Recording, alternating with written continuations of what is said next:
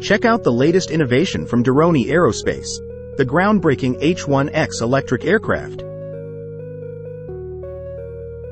Building upon the success of their H-1 eVTOL, Doroni has introduced the H-1X, embodying the revolutionary buy and fly concept. Last year's maiden flight of the H-1 eVTOL paved the way for this cutting-edge model, featuring coaxial duct fans and pusher propellers for unparalleled performance. The H-1X is a marvel of engineering, boasting a sleek design that allows it to cruise at speeds of up to 200 kilometers per hour for an impressive 40 minutes.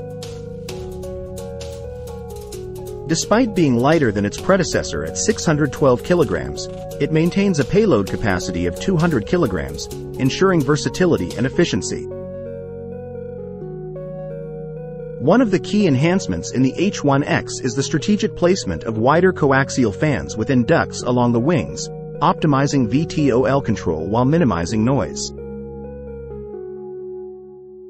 This innovative design, combined with advanced wing lift technology, guarantees a smooth and quiet flight experience. On the propulsion front, the H-1X features a robust set of pusher fans located under the rear fender, enabling swift and efficient cruising. Despite its wide X-shaped chassis, the H1X is designed to fit seamlessly into regular-sized garages, making storage hassle-free.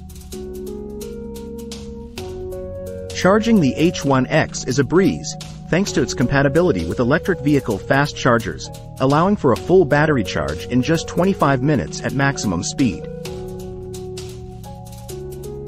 The aircraft's controls are intuitive and largely automated, with a single joystick and screen accessible from any seat. It comes equipped with push-button takeoff and landing, collision avoidance sensors, and a ballistic parachute for added safety.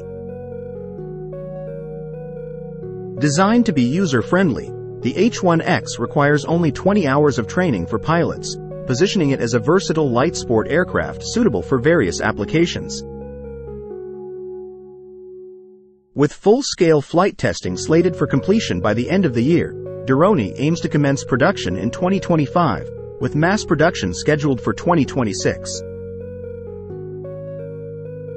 Stay tuned as Doroni Aerospace continues to redefine the future of aviation with the groundbreaking H-1X electric aircraft.